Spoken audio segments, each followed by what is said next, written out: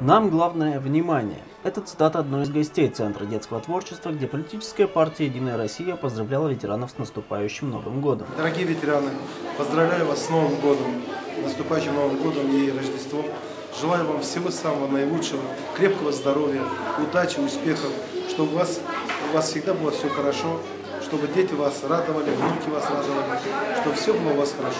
Центр детского творчества часто принимает у себя гостей разного уровня, но ко всем относится одинаково, с уважением и некой зачарованностью. Такой подход оставляет каждого гостя довольным, в то время как выступающие, стесняясь, говорят, что могли бы и лучше, хотя срывают голоса во время концертных номеров. Голоса посрывали? Ну, как сказать, могли бы лучше, а так? Очень нравится. Да, очень весело и позитивно. Зал затаил дыхание, глядя на сцену. У входа в актовый зал скопилась толпа, чтобы хотя бы послушать сегодняшний концерт.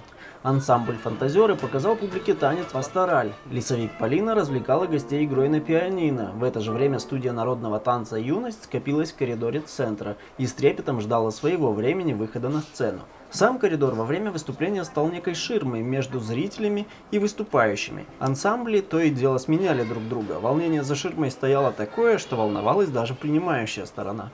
Хорошо, в преддверии Нового года всегда приятно а, принимать друзей у себя в гостях. И вот это уже стало хорошей традицией. Сегодня у нас Единая Россия пригласила наших общих друзей и совместный концерт наших детей и детей из Дома культуры. Чтобы поздравить именно этих зрителей, практически собралась очередь. В организации мероприятия «Единая Россия» помогала молодая гвардия, которая сегодня взяла на себя роль помощника артистам и заодно все фотографировала, пытаясь не мешать толпе наслаждаться происходящим. У нас есть потрясающие ребята из молодой гвардии, которые нам помогали мастерить сценарий. А, мы обзванивали да, наши творческие коллективы, и все с большим удовольствием соглашались участвовать в этом концерте.